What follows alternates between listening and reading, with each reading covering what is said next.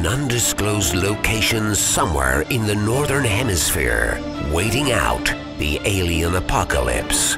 He is armed with a machete and a microphone. This is the Alien Outpost.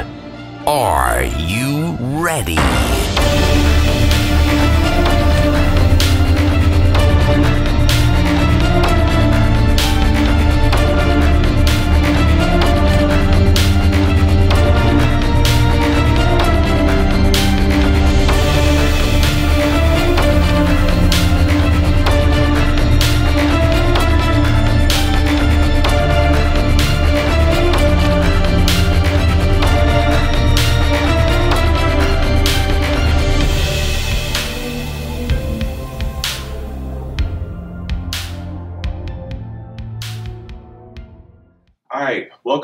Cameron. I'm telling you, this is, I say this a lot, especially with people that I really like. I feel like a fat kid in the candy store. so last year at the 2017, I believe it was the 30th annual Ozark UFO conference, I first interviewed you on video. And that was a, got a lot of feedback from that interview. Great uh, interview. We talked about many things, disclosure and the portal. We're going to talk about many things also. I do want to talk about the portal thing that's going on and the Zendras because that's very fascinating. A lot of the people that follow my channel on YouTube Good. had they that was some of the biggest feedback in the comments was about the portals. So thank you for spending your time with me, Grant. Well, thanks, Michael, for having me on. I appreciate your interest in what I'm doing. So let's go ahead and go to Tom DeLonge. Okay. Um, what's the latest word on Tom DeLonge? Is there anything new that has come to the surface? Um, Tom DeLonge. Um, basically, what I'm chasing is there's four parts to his program. The way I look at it, they have um, medals, they have the videos, they have reports, and the fourth part is the experiencer part of the story that I say is the most important part. They're working with experiencers. Tom DeLonge really doesn't have that much to do with the research that they're doing. Tom DeLonge, people have to keep in mind, he's a media guy. He has a media company. Um, he's just basically interested in uh, putting out movies, getting stories, telling stories, putting out toys, and he wants a trilogy. He wants to sort of control the UFO story and tell it like the, the new Steven Spielberg type thing. Mm-hmm. So that's his role. He is coming out, though people don't know. He is doing a uh, presentation with Lou Elizondo in Brazil in May. Most people don't know that. So they're bringing him back out. They, he sort of disappeared from the scene after the Joe Rogan interview. A lot of people said that he messed up the Joe Rogan interview. I, I watched I- that. It, I- it was. It almost seemed like he was getting blasted by Joe Rogan. Well, yeah, it was Joe Rogan, but if you listen to what Tom DeLonge said, I mean, he was saying some stuff when I reviewed the the interview for the second time. I went, "Whoa!" He was saying some stuff that was pretty significant. Like, for example, a lot of people miss stuff in the interviews because most people, it's not a mistake, but people watch an interview one time, and then they just go on to the next interview, the next video, the next interview, the next video, the next story, and it's like 24-hour news, and they never pick up on what's actually going on. So if you go back and listen to interviews, that's what I'll do. I'll review Tom DeLonge's interviews. I'll listen to them six times. I'll go back to, I've got a guy who can provide me any interview I want. So I'll go back to 2016 when he did the interviews with George Knapp, and you'll hear stuff that you never heard before. So on the Joe Rogan interview, for example, he states that um, when he released the book um, uh, Secret Sekret Machines Chasing Shadows, that was released April the 5th, 2016. He said that he was contacted by U.S. intelligence. So if you put that together with the fact that Jim Semivan contacted him in April of 2016, he was contacted by Jim Semivan. And Jim Semivan basically said, What are you doing? Who are you talking to? But if you listen to the Joe Rogan interview and you hear Tom DeLong, he said when he was contacted by U.S. intelligence, he was he was taken to a uh, hotel room in San Diego, and he was grilled for two days. He was sort of debriefed for two days by six intelligence agents. Hmm. So that was something new. When I went, whoa, six intel. This was uh, like huge uh, interest by the government, and not just you know some former CIA guy coming and talking to. Him. So basically, you had this thing, and basically, he said at that point, they he said they said, "Who are you talking to? You know stuff you shouldn't know." And he mentioned the generals and Robert Weiss from Lockheed, and they sort of were sort of blown away by who he was talking to. and they said, well, they were willing to help him, but you shouldn't talk about this, you shouldn't talk about that. So that's when he said in the Joe Rogan interview, he said, well, you have to go back and listen to those interviews to see what I was talking about. So there's a bunch of stuff in those early interviews that mm. Tom DeLonge was talking about that he's no longer talking about, which would indicate is true stuff. It's something that that sort of he went over the line. Are they silencing him for? Yeah, they just said saying some of the things. Yeah, they were just saying you shouldn't talk about these things anymore. So now I'm going back and reviewing as many early interviews or the interviews he did with Rolling Stone and stuff like that to see what was he talking about that's not being talked about now. So that's the thing. I, I sort of follow that kind of stuff. But so they pulled Tom DeLonge uh, off after the Rogan show, and um, he's everybody said it was because he messed up the Rogan show, but I don't think it was that. What I was told uh, a year before anything's happened, I may have mentioned this last year, was that I was told that high-level government officials would come forward, they would out themselves, and they would say this thing's for real, and that's exactly what happened. Mm-hmm. So they moved it away from Tom DeLonge to these high-level officials, Lou Elizondo, uh, Jim Semivan, uh, Steve Justice, Chris Mellon, all these high level guys, and they come out and, and when they told me that a year before, that was something that nobody ever would have believed. That high level government officials are going to come out and say, "I'm a high level government official and we're studying UFOs." I, I, there's no way I believe that, and that's exactly what happened. And so what happened in December of last year, this was not disclosure, this was confirmation. And again, you got to go back to interviews. So there was an interview that Bob Bigelow did in 2013 with George Noory. In that interview, George Noory starts and he says, "I think something's going on. I think the government, you know, some there's some sort of deal going on that they want to leak stuff out." The guy that would know is Bob Bigelow, and he said to Bob, his first question is, "Are you in favor of disclosure?" And Bob Bigelow, who now controls most of the UFO information, said, "No, I'm not in favor of disclosure. I'm in favor of confirmation." And he said, What you need to do, what we need to do, this is 2013. He said, What we need to do is we need to get the idea across to the American public that UFOs are real and it's a mystery and we're studying it. And you stop right there. That's exactly what they did on December 16th. But out the videos, New York Times, they said we're studying the UFO program. They, we're not saying it's alien, we're not saying it's extraterrestrial. So they stopped right there. Just say UFOs are real, the government is studying it. And then in the 2013 interview, that's when Bigelow said disclosure will take place a couple of years down the road. Then you can tell them what's actually going on. But you got to start simple. UFOs are real. This is what they should have done in 1947. Mm-hmm. UFOs are real. We don't know what's going on, and that's the story they put out. So this is what happened last December was confirmation. It was not disclosure. And I don't want to get on to 1947, but what but briefly, what really boggles my mind is shouldn't the National Security Act of 1947, what they believe is in September, mm-hmm. shouldn't that like be a staple in people's minds to let them realize that there is something going on? Because what happened two months before that? Yeah, Roswell. Well, I think it, I think it even goes back farther than the National Security Act. I think people, when they look at what's going on here, is the fact they got to realize that this is military, and the U.S. The United States government has a $675 million defense budget, bigger than all the defense budgets in the world. The United States of America is a major arms place. I mean, it's, it's mm-hmm. half, you know, whatever it is, 15% of the economy is the military. And, and it's something you can't really shut down.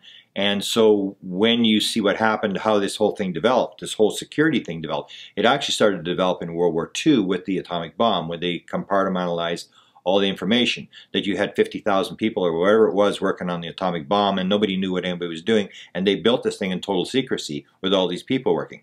And they also developed the homing torpedo, and they developed this proximity fuse, and jet, jet, engines, and plastic explosives, and all the rest of this stuff during World War II, and it worked. And so they developed a system of, of, compartmentalization that the military is running the show. The military gets it. So, in the prime example is GPS. GPS was a military technology. So they run it, they, they develop it, and then they spin it into the into the the, the, the public uh, world.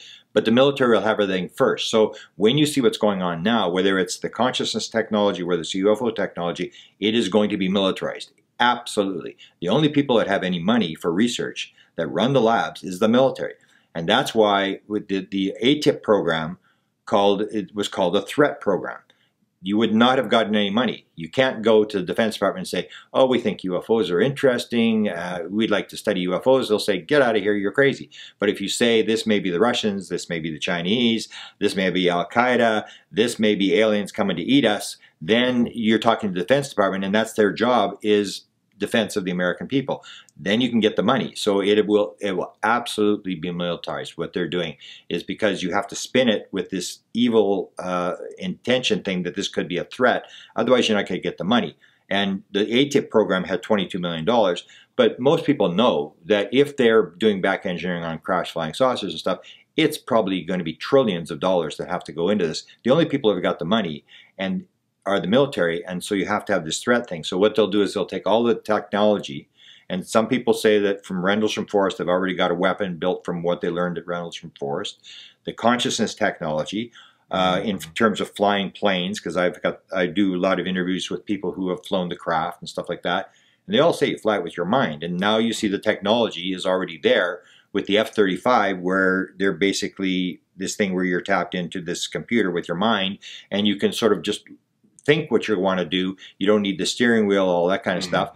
And so that's what the way it works is the military will use all what they're learning with the UFOs, consciousness, all that sort of stuff.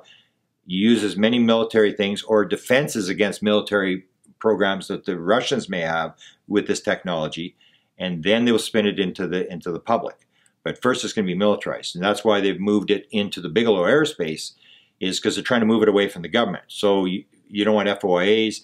Plus, you want the disclosure to take place outside the government. So what you do is you move it to Bigelow Aerospace. Bigelow Aerospace has the videos, the, the photographs, all sorts of stuff, and then you give it to Tom DeLonge and his group. They make the disclosure announcement with gov former government officials, and the government's off the hook as to having to say uh, we were doing it. And that's what's mm-hmm. happened. So they've said the government is releasing these videos, which is not really true. And uh, the AATIP program exists, which the government, if you ask them, they'll say, we have no records of any AATIP program. And they've bought into this thing where people are now believing that the government is running this thing, and uh, and yet it's not true. But it's you got to remember it's that military aspect to this whole thing. These are the guys with the money and the power who are able to actually research this thing. The UFO community's got no money. Nobody, the public doesn't care. You have to spin it as a threat, develop the technology, and then move it into the public with a lot of this technology, because um, Roswell was post World War II. Yeah. So, but during World War II, there was a, an advancement in, in, technology, and it makes you wonder. I forgot the uh, what was the the crash believed to be in Missouri in 41. Oh yeah, yeah, yeah. I know which one. Yeah, yeah. Do you believe that maybe the advancements that helped us win the war possibly came from that type of technology that was in Missouri, Missouri I believe it was 41, or other types of crash retrieval, uh, I guess, things that happen within the military? Um, mm, actually, if I think about it, I don't think. I mean, was an advancement, you know, big time. Yeah, you know. but everybody sort of assumes that we've got it. If you take a look at, for example, I'll give you an example. The um, the Tom DeLonge, they talk about this piece, this 37 layer piece of material that, that Linda Howe talks about quite a bit that she was working with and she's working with Hal Puthoff on this, and he's giving her ideas. Um, they state that there's no way we, we could not develop this stuff now. It's this, you know, very, very pure, 99.9% aluminum. The bismuth is pure. It's layered, you know, one to four microns, and and as Tom DeLonge says, it's layered atomically, one atom at a time, and and in lines and stuff, all structured as if they're putting it down one atom at a time. That kind of stuff we don't have. And so when you hear that, you it almost indicates that we don't have the secret space program. We don't have any of this stuff.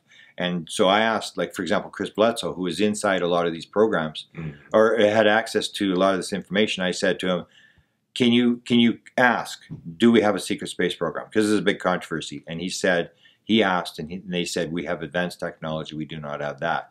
So there's this debate do we develop all this sort of stuff? Is this our stuff that's flying around and do we have all this kind of stuff? Or are we, we've got a little bits and pieces. What I've seen from what I've got is that, um, for example, Jim Semivan was asked, um, who's running this program? Or who's running the thing? Who's, who's in charge here? And he said they are which sort of indicated that we really don't know very much of anything. The beings, whoever this Mhm. intelligence is, is basically running the program. So they may have developed little bits and pieces. Like there was the idea, Corso brought out the idea that they had um, night vision was leaked and Fiber fiber, optics. optics. and stuff like that. And there are some stories. There's even a recent one that that this Desta, um, you should maybe interview her. Um, she was actually just in a, a crash that occurred in 1945. She was down there, and she did some some videotaping of the the witness, and she talked about there's a piece that they had that I had actually handled last last year or two years ago that was hidden away, and they had actually done an analysis on this, and it had this sort of fiber optic inside this piece, and they had this, the analysis of this of this piece, and so the fiber optic may be a, a key part, but whether we've got the technology to sort of back engineer the whole thing, or we may have a situation where in the black world they back engineered all this stuff, but you Mhm. can't. You have to find a way to get it in the white world. You cannot release the black world technology because it's so highly classified, and that may be why they're doing this thing where they set up Bigelow Aerospace. They leak little bits and pieces of the story to help industry. We've got this layered material. It's got these characteristics or whatever, but they don't. They hold back the piece of material so that industry starts to work on this stuff in the white world because they can't move the black world stuff into the white Mhm. world.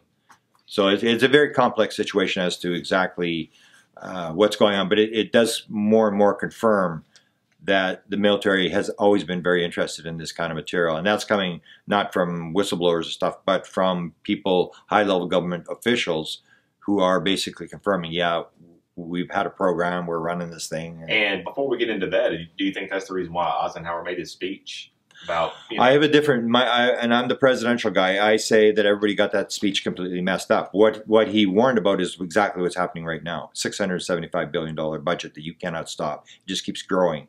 Uh, there's more threats. Everybody's an enemy of the United States Mhm. of America. And you got to realize if you get outside the United States of America, if you, I live in Canada, I mean we don't think about invading a country or doing anything like that. This is a deal. So what he said in that speech, because I went to the Eisenhower Library and I looked at the speech. And what happened at the Eisenhower Library is I'm there for five days, and within two hours, I've seen all the UFO documents because there basically are no UFO documents. And then it's like, what am I going to do for the rest of the week? So I would read what are called oral histories. So if you're the cook at the at the White House, when you re- resign or quit or whatever, they say, "Oh, can we do an oral history with you?" And so you sit down for an interview, and they say, "What was it like to be the cook?" Did the president ever come at three o'clock in the morning and steal stuff out of the fridge? And you know, what does the president like Yeah. to eat? And they go through this whole thing. So they did a bunch of oral histories in all the presidential libraries. They've got these oral histories. and you read a lot of things. And I read it. That's what I did for the whole week. I'd sit there and read these oral histories because nothing else to do. And so I, they had them by index. So I looked up the military-industrial speech, and there were six people in their in their in their oral histories that talked about it, and they all said the same thing. It wasn't the military-industrial complex. It was the military-industrial congressional com- complex. What it was, and this is what he was warning about, was that the military gets, if you're a senator, I get you, you back the program, you got a, a, a factory in your state that has 10,000 uh, people building whatever, like tanks is the prime example. They're building tanks, and then when you try to shut it down, the Congress stops it because no, you're not going to shut down this 10,000 uh, program in my district because I'm I'm this sort of uh, you know big congressman, and they can block it. So it was this cycle that congressmen are feeding this the thing. They need the jobs. The military needs the congressmen to vote this thing. So it's it's it's this vicious circle that goes round and around, and you can't shut it down. And the prime example was the Abrams tank Mhm. at one because the in, military has gotten to the point where it's an air war. So you don't need tanks anymore. It's totally useless. So the the army put out the the, the request. We don't want any more Abrams tanks. And there actually was an article written about it. It was called "Tanks, but No Thanks," and and they couldn't shut it down because it was these congressional people. There were so many jobs at stake that you couldn't shut the program down. So they continued to build tanks, even though the army didn't want any more tanks. They said, "Stop the tanks. We don't need tanks." But you can't stop it. And that was what he was talking about. Was this vicious circle where once a thing gets going, the budget gets bigger and bigger, and there's more congressmen have more jobs at stake, and you just can't shut it down. So I don't think it really had anything to do with UFOs. That's that's my my impression based upon my research at the Eisenhower Library. All right, Grant. Uh, back to Tom DeLonge. Mhm. Um, now, before we get into the, the UFO portal and everything, um, because I know you got a little bit more information than you did last year. Who who are all the players and who is feeding Tom DeLonge? Because he is being used, I would say, in, in good terms. He in, in in all goodness to the UFO community, but he's being led, being used to to leak this information. Now, who are these? I know maybe asking you to speculate some, but who are these players? Well, a lot of them are known. Um, he had. Um, are they deep within the government? Oh yeah. The the first guy he had was um, it may have been Steve Justice. It was somebody below um, in in the um, uh, Lockheed. He gets an invitation to go to a barbecue at Lockheed. They know he's into the subject. He says to the guy, and the guy says, "Be careful who you talk to," and this sort of stuff. And then he says he gets invited to Lockheed, and they say, "We're having this party in the parking lot. People can't go in, but if you want to come and introduce the president, you know, you might get an idea of what we're doing." which mm-hmm. you wouldn't get from some barbecue in the thing. So he said, okay, if I can talk to the president for five minutes after, I'll come. So he goes uh, to this thing. He introduces the president, and then he sits down with the president. He said, "I've got this. I got this idea." And he doesn't mention UFOs or anything. I got this idea, mm-hmm. but of course they know he's into UFOs. Mm-hmm. And the guy says, "Yeah, okay, sure, come on up." And they bring him up to Area 51. So he meets with Robert Weiss, with the head scientist at Lockheed Skunk Works, and probably with Steve Justice. And they're in a SCIF in a secure facility and they're talking about all this sort of stuff and he he gives him his spiel about what he wants to do. He wants to have this you know thing for the young people. You guys can't get the message across which is true. The government can't. They need someone to put the message out. Mm-hmm. so tom delonge fit their, their profile. He was young people and stuff. So um, he they they say well this could actually work. At one point the one guy says this could actually work so um, he gives him his spiel about the evil aliens and his idea of how how the uh, this is working. And at that point, they say to him, "We've got someone we want you to meet." So he gets this email, and it says, "Meet outside the Pentagon on a certain day and a certain time." And then he meets with two intelligence guys. So these are the you have the Lockheed guys. Then you have these two intelligence guys, and that, they're the guys that say things like that. Things like this do not happen at the White House. Do not happen in Congress. They happen with a couple of guys like us meet together and decide to move the football down the field. Mm-hmm. And then they send him to to to uh, NASA, and he goes there, and it's there he meets with some high level person there. I have I have a source there, but I'm not sure whether he. I know he talked to Tom Long, but I'm not sure he was the the high level guy that he talked to. Yeah. Then he was sent to Ames Air Force, uh, Ames uh, on the on the West Coast, and that's when he meets. Uh, he gets sent to the general he gets sent to Robert uh, um, McCasland, General McCasland, who used to run the lab at Wright-Patterson Air Force Base, where it's rumored that the Roswell material was. Mm-hmm. So this Neil McCasland guy meets with him for two hours, and he basically uh, says, "We found a life form during the Civil War or during the war, the Cold War. We we we were always uh, aware that we might the world might be destroyed at any time with nuclear weapons, and during that time we found a, a life a, a life form."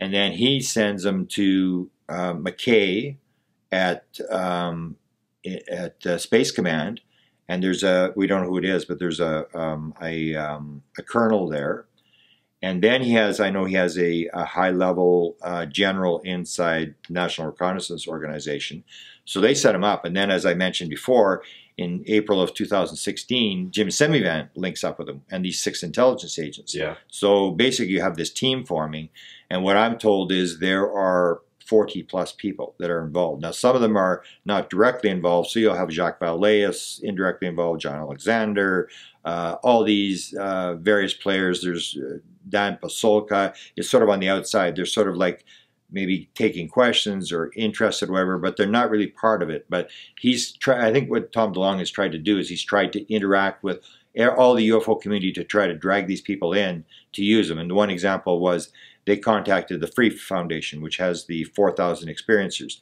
and they offered Tom DeLonge offered them that we are willing to bring you on as the abduction research arm of To the Stars Academy, and we'll pay the salaries of all the people. And then Rey told him it's a non-profit thing. Nobody's really getting paid. It's all volunteer type stuff, and we aren't releasing the records. They're all confidential. And so that thing sort of dropped off. But that's the kind of stuff where they would drag people into this thing to advise. And then they sort of enter into this what they call the cosmic club, where they're all off the record. They're, and so you'll have academics in there who are sort of interested and they're talking, but they don't want their identities released. So there are, uh, from what Semivan said, and from what I also hold about, heard about this Cosmic Club, there's better than 40 people that are involved. Now, with this, uh, the To the Stars Academy. Now, who is all help funding that? And is, do you think it's possible that it could be COINTELPRO?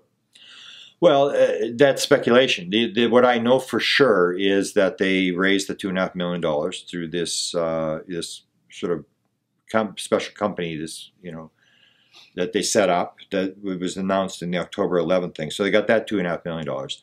And then I know what Jim Semivan stated was that there's uh, this second group, and it's it's uh, it's linked to To the Stars, but it's not part of To the Stars. And this is the one that's working with the experiencers.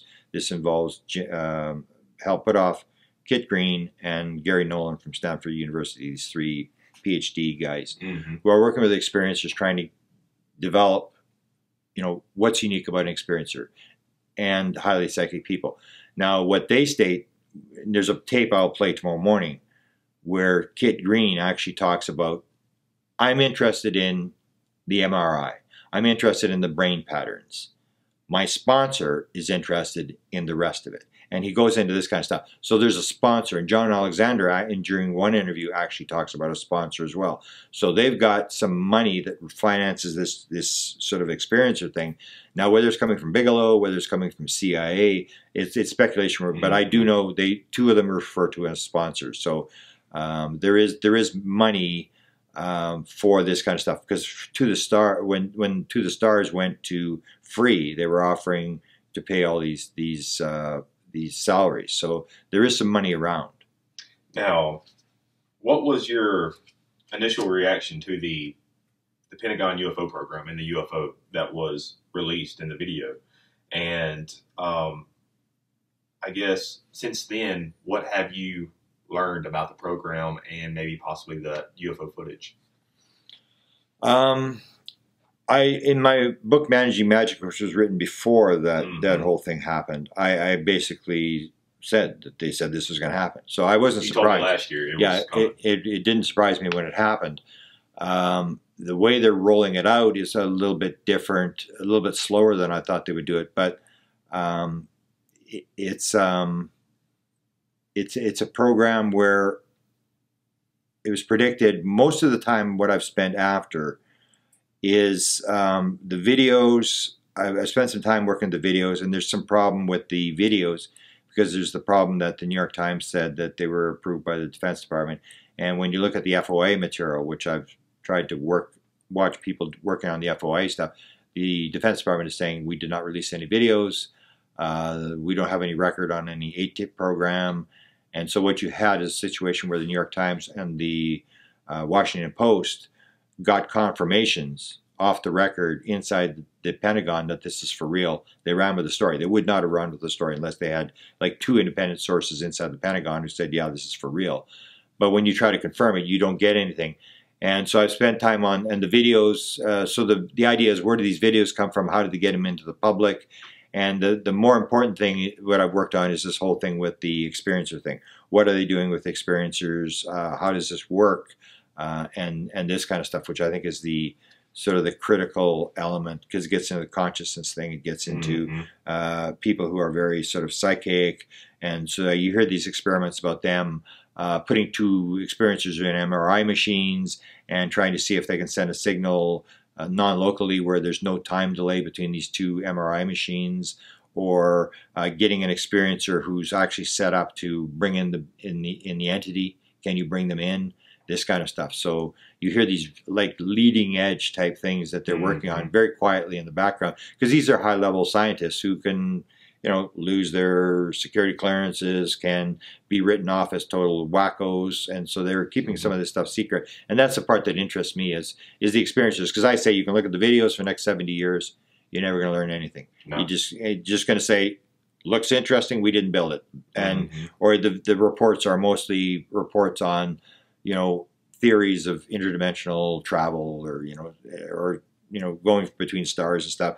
And the metal stuff even if you got the metal stuff you're looking at it and what i heard is like we can't produce this stuff. It's very strange metal but it really doesn't tell you how flying saucer flies or where they're from or that sort of stuff. It's not until you talk to the experiencers who are interacting with the phenomena and are being given answers and, and are being able to ask questions that you actually know what's going on. So that's the part of the thing that i've spent most of my time and then when you brought up the portal, the portal is a separate issue because you have the Tom DeLonge operation, and then you have the second operation, which I was following, which was the, the, the CIA operation.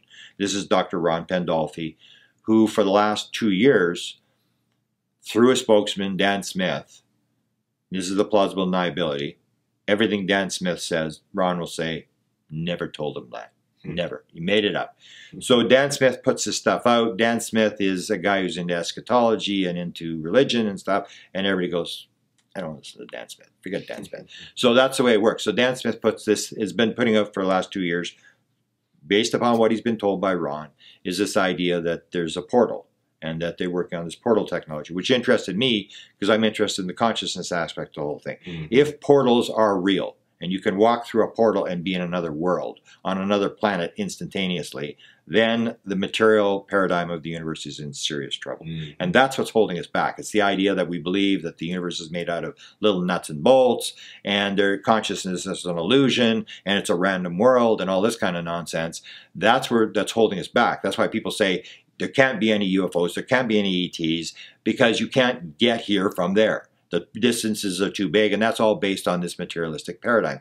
Once you have portals, the materialistic paradigm game is changer. gone. It's a game changer. It's like, wow, it's like, what is going on here? How does the world really work? And that's what we have to do is if ETs and, uh, or whatever they are, if somebody's visiting this planet, we've got something wrong something we believe is wrong and you've got to redo all of reality. You've got to re re-examine the whole thing and find out how does the world really work? And that's where i come down to say that it's consciousness based it's not material based consciousness creates reality. And quantum physics is starting to hint that's the the thing and that's why the portal is so important. So you have this second team and i watch them and because it's all this plausible deniability and Ron can't go on the record and they're doing rhymes and riddles and all this nonsense.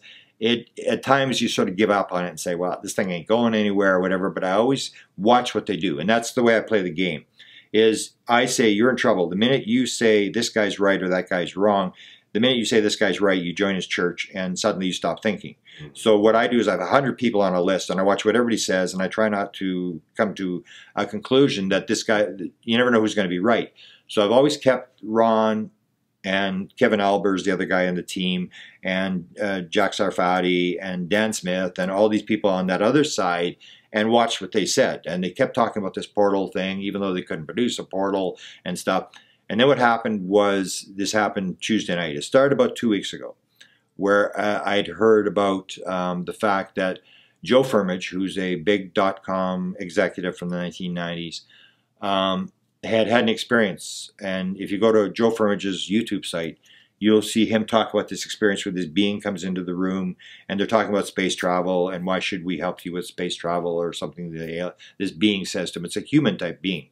And he says, because I'm willing to die for it. Mm. And he basically quits this CEO of this huge company, uh, air, uh, computer company, and he starts the UFO thing. And he starts to build technology, and he's trying to build a portal technology to this other world. And he believes this kind of stuff. He believes he's been given this material. He starts to develop this equipment, and he has what's called the bouncing box. This is what Ron Pandolfi calls this thing. And it's it's on you can see it. There's actually a demo of this thing on his YouTube website and it's a box and it has these sort of gyros spinning in different directions on this thing and they're going faster and faster and faster mm-hmm. and the box starts to bounce and the box is sort of lift, lifting off the ground. So people said it was an anti-gravity device and but we always heard that Firmage this was a portal type device. Yeah. Then i heard a couple weeks ago that they had actually perfected this thing that a guy by the name Dan Merrick who Marriott who was a, a former US congressman from the state of Utah had been involved. He put in four million dollars, and I'd heard before that that that um, there had been ninety million dollars. That Firmage had put ninety million dollars into this, and that they had perfected this thing, and that they'd formed a company Dan Marriott was one, Joe Firmage, and this Kevin Alber guy who sort of works for Ron Mhm. Pandolfi. They formed this company, and there was going to be a demonstration. This would be a week ago Friday. They were going to have the demonstration, and we heard that it, it was going to happen the Friday. Really didn't hear anything, and then suddenly, Wednesday of this week, so we're in April of 2018. We're um, we're on the the Saturday. This happened on the, the Tuesday night. So on Wednesday, suddenly Dan Smith starts to phone, and because I'm in the United States, my phone is roaming, so we don't really touch our phones. And I could see his phone calls coming in, and basically he's saying, "I need to talk to you. Why aren't you answering your phone? Something's happening in Salt Lake City." And that's where Joe Firmage has this machine. Joe Firmage lives in Salt Lake City. Something's happened. There's been a there's there's been a development. And so what happened was, and I just had a phone call before this interview started to Washington to try to gather as, as much material as I can for tomorrow's lecture and said, what's the deal? So what happened Tuesday night? And it was like, you know, the ifs and buts and all mm-hmm. this sort of stuff bouncing around or whatever. And basically what it came down to is that the machine was running, Kevin Alber was there, he was filming, and a portal type thing opened up and a being came out of the portal or Wow. came came out or was near the machine there was a being it was a blue being it was near the machine and the being so i asked dan this morning i said there was he said there was a telepathic message and i said well what was the message and he said well it was kind of like oh hi there can we help you and so then that video was sent to ron pandolfi so i said to dan smith i said so what did ron say was Ron impressed? Well, yeah, he was he was impressed. And then I said, okay, so I'm going to go lecture tomorrow in front of whatever five, seven hundred, eight hundred people. What's the message? And and then he said, well, the message is uh, we see you, you see us. And I'm going, oh, okay. And then I said, um, um, everybody's going to ask. You know what they're going to ask? They're going to ask, so where's the video? And well, and I said, they're going to say, why aren't you releasing the video? And then he said, well, uh, that would probably confuse confuse things. And I said, okay, so what's your message to the people? Like, this is your chance. This has happened or whatever. And it sort of bounced around like that. It really didn't go anywhere. That, yeah, the film was there. And then even said that Firmage didn't know. And it's like, come on. I mean, he, he was he's his machine. He didn't know that a being appeared beside the machine, and that um, they're going to. The last thing I heard was that they were supposed to be in Colorado this week. This is what I heard. This machine was going to Colorado, and they got people flying in from around the world. The Mormon Church is sort of involved, and and they're going to go to um, to Colorado. I said, well, I thought that was last week. He said, no, it's next week. And then I, because I'd heard this, I said, so you're going? uh, yeah, I'm going. And I said, well, Ron and Leah, yeah, they're going. And and I said, he said, well, I don't know who's going to show up, and and I really don't know if Joe's going to be there or whether they're going to demonstrate the thing or what's going to happen.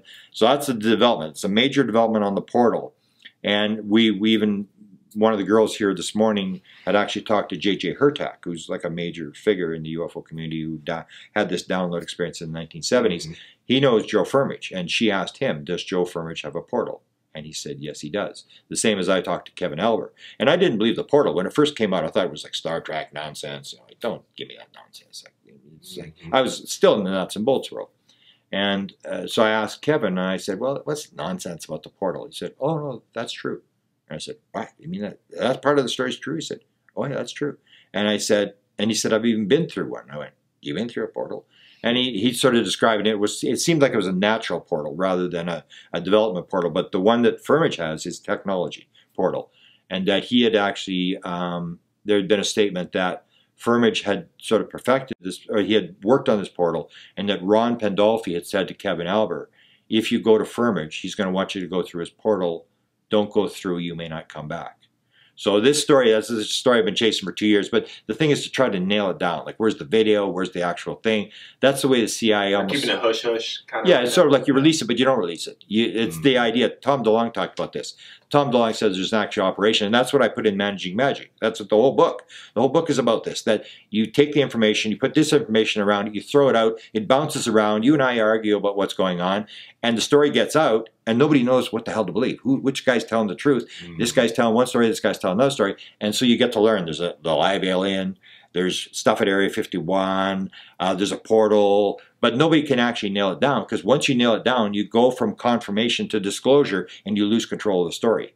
Then suddenly it starts to spiral out of control, and you you have no idea where it's going to go. This way, you pull it out, you pull it back. You put it out, you pull it back, and you Keep gra- control. gradually keep the story going, but control the story. That's the key that they need to do because they're afraid of the thing getting out of control. And then you're saying, well, "What about cattle relations? About they're eating us on the backside of the moon," and all this stuff comes out, and they're not prepared. They don't have the answers to a lot of the questions. So they they want this slow release of information, which was started by the Brookings Institute, 1960 report, where they said the threat of extraterrestrial life is the knowledge that the lower society will disappear and that you've got to gradually acclimatize people to the fact that we are not alone in the universe. I agree. And thank you very much, Grant. That was very fascinating discussion with you. And I will have you on the near future on my podcast again to get more in depth with some of these other topics. And maybe you, you will have more information, even more about the, the portal subject. But thank you very much, Thank Grant. you, Micah. Pleasure. Pleasure.